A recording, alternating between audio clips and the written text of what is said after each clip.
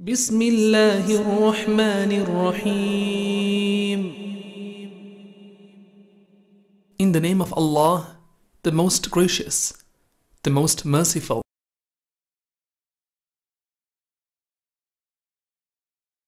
السلام عليكم ورحمة الله وبركاته. بسم الله الرحمن الرحيم الحمد لله والصلاة والسلام على رسول الله وعلى آله وأصحابه ومن اهتدى بهداه وبعد. We praise Allah subhanahu wa ta'ala. We thank Him upon all conditions. We send blessings and salutations upon Muhammad sallallahu alayhi wasallam, his entire household, all his companions. May Allah subhanahu wa ta'ala bless them all, every single one of them without exception. And may Allah subhanahu wa ta'ala bless every one of us and our offspring, those to come up to the end. May Allah subhanahu wa ta'ala keep us all steadfast. Ameen.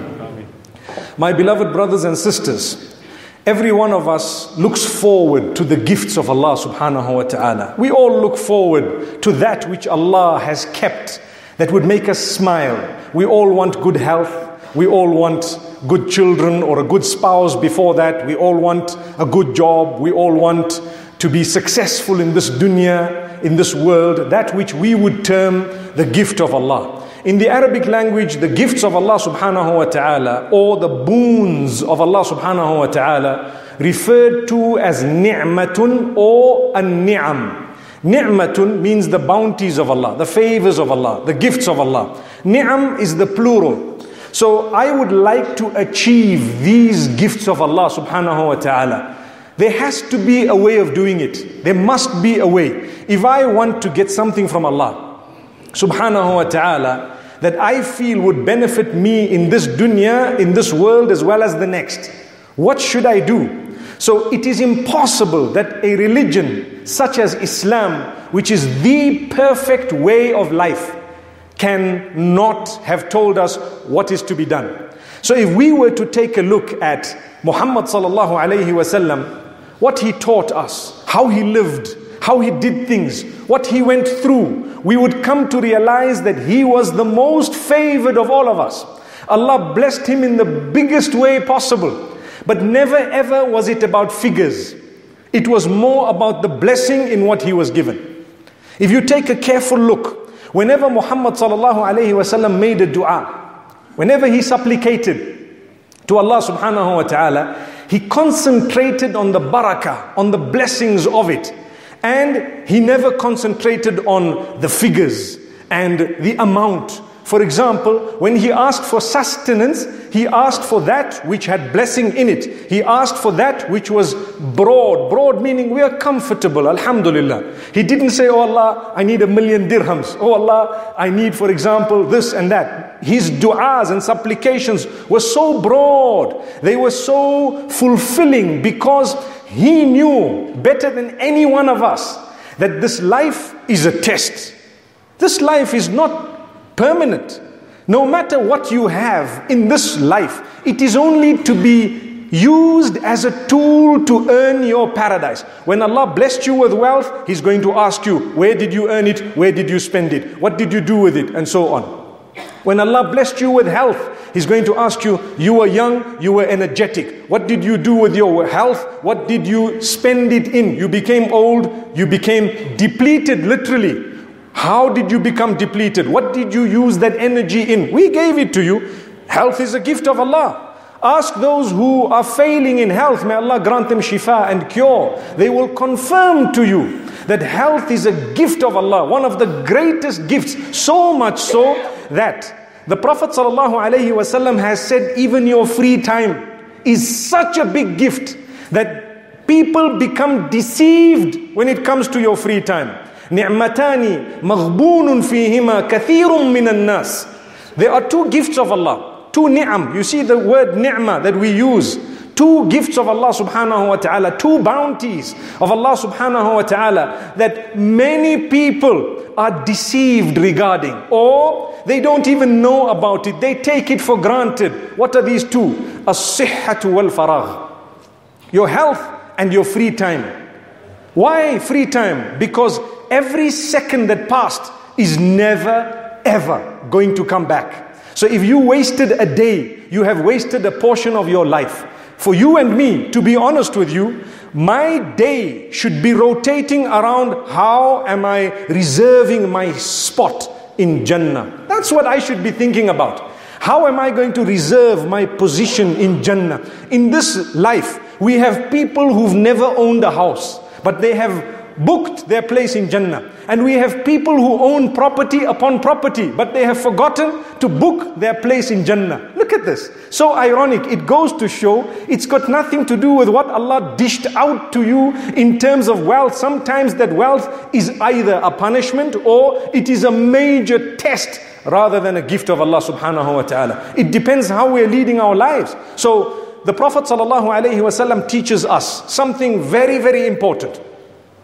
He speaks about the gifts of Allah subhanahu wa ta'ala. We want the gifts of Allah. I would like the gifts of Allah subhanahu wa ta'ala. How do I receive these gifts of Allah subhanahu wa ta'ala? It's closely connected to my link with Allah. If I don't have a link with Allah, what I'm getting is not a gift of Allah. It is a test of Allah. It is actually sometimes a punishment. Like Allah subhanahu wa ta'ala says, وإذا أردنا أن نهلك قرية أمرنا متر فيها ففسقوا فيها فحق عليها القول فدمرناها تدميرا Speaking about how when he wants to destroy a nation or a town, he actually causes a certain group from amongst them, the affluent from them, to perpetrate crimes, to engage in sin, and as a result, the punishment would be deserved by them, then he destroys them, which means he gave them,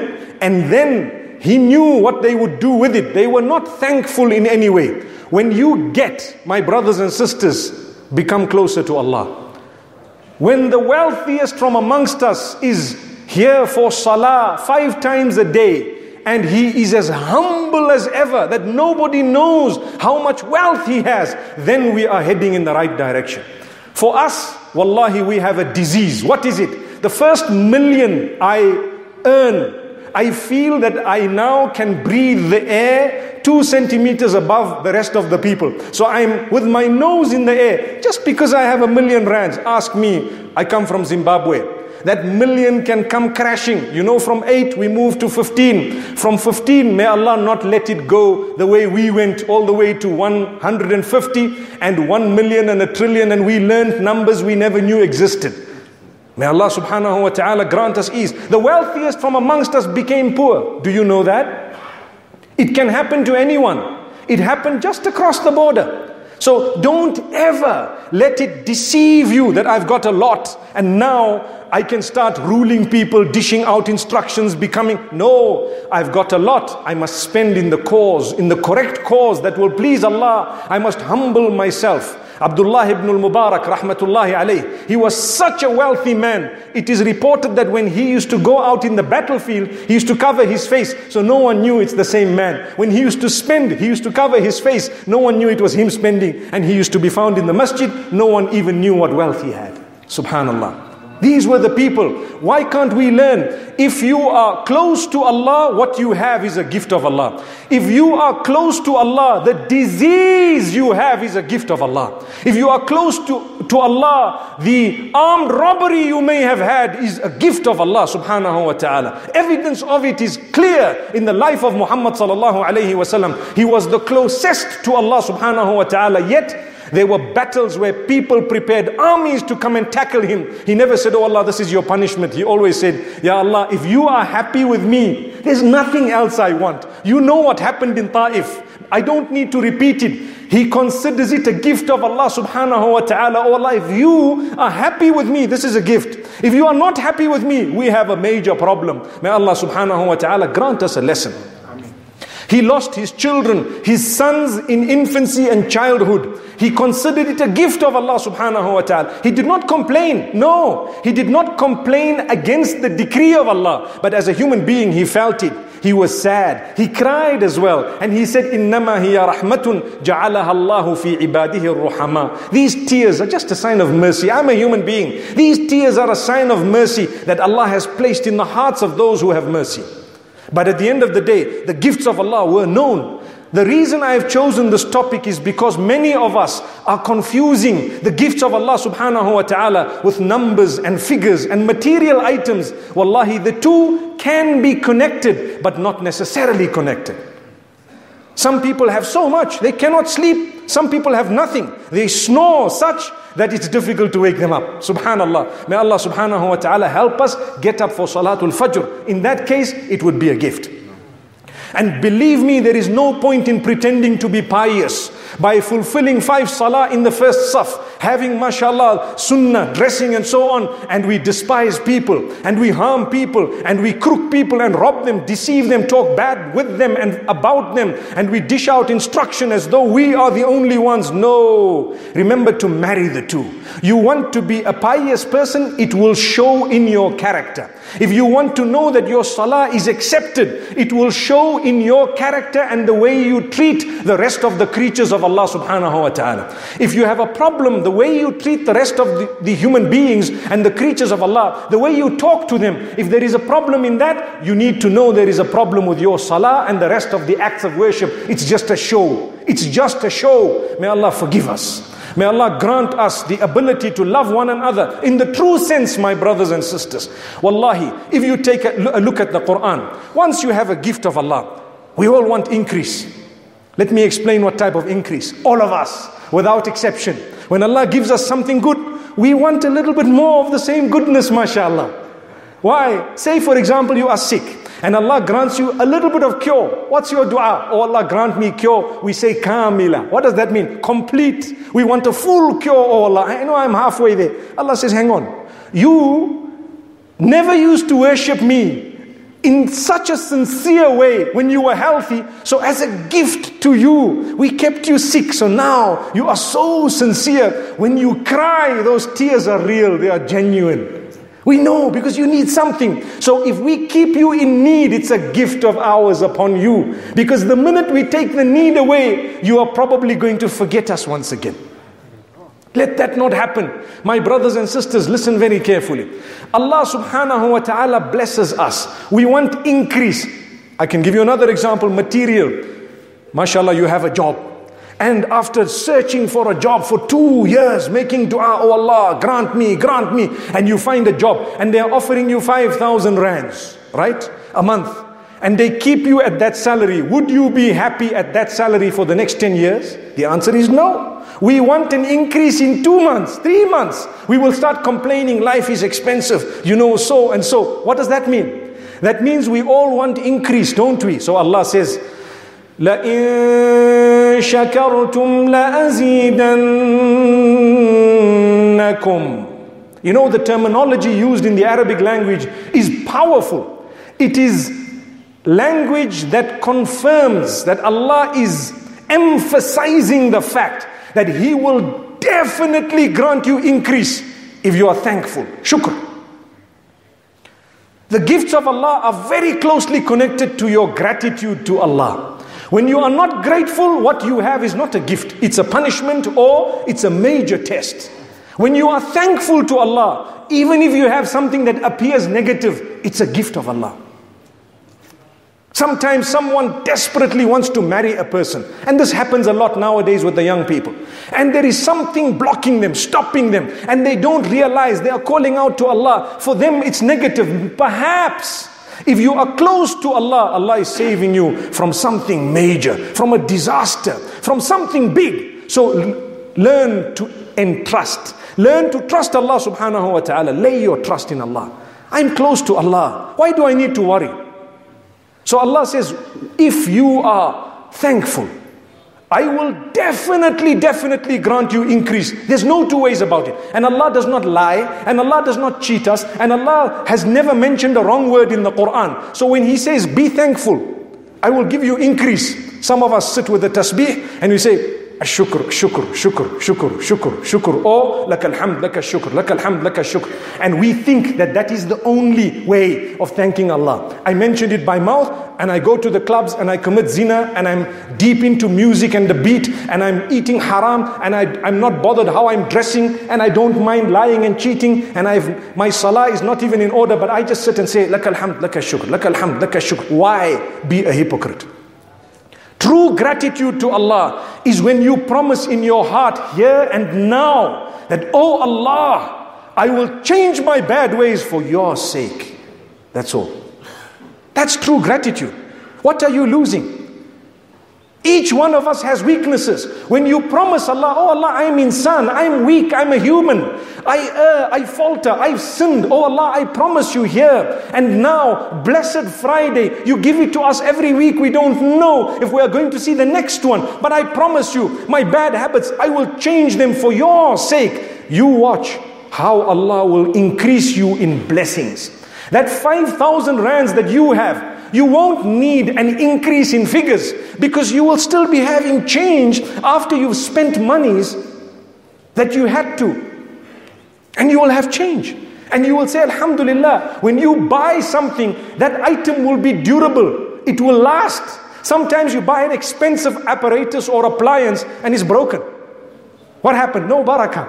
Where? Why? I tell you why. Because your shukr, there's something wrong in it. You've misinterpreted it, misunderstood it, you don't know what it's all about. And this is why Allah says, when He has given someone a gift, He doesn't ever take it away unless they change in their gratitude. Do you want to hear the verse? ذلك بأن الله لم يك مغيرا نعمة أنعمها على قوم حتى يغيروا ما بأنفسهم Allah is promising that He will never change a gift that He has given a people or a nation. He will never change a gift He's given you until and unless the people themselves have changed in a way that they are no longer grateful to Allah. Something has gone wrong with them. Then He says, I take the gift away, or I can convert it into a means of punishment. The same thing you have. Someone has wealth, it's a gift. Another person has the same wealth, it's a punishment. How do we know this? We would only know it by gauging ourselves how close are we to Allah am I sinning do I continue sinning some of us we earn mashallah tabarakallah we've got increase instead of seeking halal we go out to seek haram may Allah safeguard us and I don't need to mention what haram channels are I'm sure we know them think within yourself what is the haram you know people have wealth the first thing they do haram. Why don't we amass with the intention of making hajj? Subhanallah, softening your heart, go to Allah, see the barakah that will come. Just yesterday, someone told me a story of how, as they were growing and they earned their wealth, and the father says, Do you know what? Instead of buying the house first, you'd rather go for Hajj first. And they say, We went for Hajj. When we came back, we had a bargain of a house waiting for us. That's a gift of Allah. Speak to the people. See, we are all complaining, my brothers and sisters, about what? Hey, I don't have enough. Everyone is complaining. You have a wife, you don't have enough. You have children, you don't have enough. What do you want? What is going to make you happy? Part of the ni'mah of Allah is He makes you content with what He's given you. Now you have a wife, you say, Alhamdulillah. That's it. I thank Allah. I've got children, mashallah, that's my day. I spend my time with them, nurturing, trying to teach them. Because when I die, Allah is going to ask me, I gave you children. You cried for those children. When I gave them to you, you didn't even spend time with them, teaching them about me. You thought it was somebody else's duty. You paid money, you swore them once in a while, and that's it. May Allah forgive us. My brothers and sisters, this is dangerous. It's detrimental. It's bad for us. We need to understand what is the gift of Allah subhanahu wa ta'ala. Don't ever think to yourself that because you are struggling, that that is a punishment of Allah. Just ask yourself, how's my link with Allah? Look at Muhammad sallallahu alayhi wasallam. They surrounded them for three years in Shi'ab Abi Talib in Mecca al Mukarrama, where they didn't allow food to go through or anything to go through. Some of the Sahaba radiallahu anhum suffered and struggled. You know, the companions died in the Meccan period. Did they ever complain? Not once. The Prophet it is reported as the best of creation. You know what they were eating? They were sucking the roots of the tree in order to extract the juice and the leaves of the trees in order to fill their bellies. And one narration makes mention of some of the companions actually eating the skins of the animals. Have you, any one of you, ever eaten skins of animals because you didn't have something?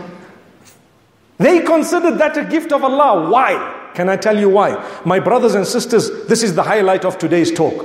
The biggest gift Allah has given you and I is the fact that we are the ummah of Muhammad. Thank Allah for that. And if you don't thank Allah, He will take it away from you or your offspring. He will take it away.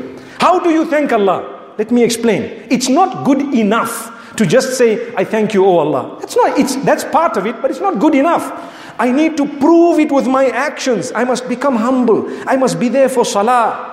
Recently, I was in Nigeria. My brothers and sisters, I was shocked when I saw some of the wealthiest of people. Their determination to fulfill salah was such that if adhan is called, they won't talk until they fulfill their salah.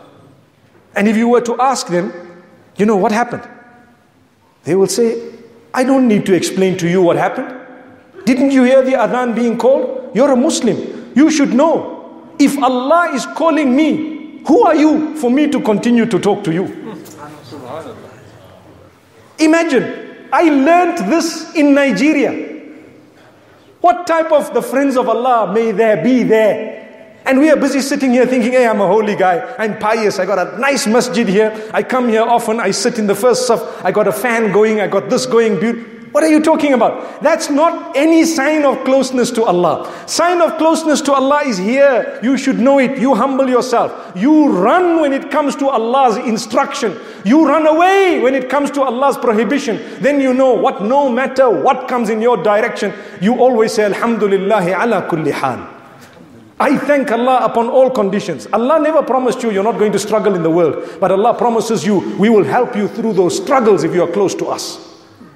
Life is a test. My brothers and sisters, thank Allah for what you have. Work hard to achieve more, yes, but work hard to get barakah and blessings in what you have. It's not good enough to say, oh Allah, I need a million and a billion, and there's no barakah in it. Your intention is as soon as I get it, I'm going to go to commit zina, I'm going to go to the casino, I'm going to go to the nightclub, I'll be able to buy the cocaine and the heroin and the drugs and whatever else it is. That's pathetic. Give up that bad habit. See the barakah that Allah places in your lives. Can I tell you something else? Haram costs a lot of money. Remember this point. Haram and makruh and that which is detested and bad, it costs a lot of your money.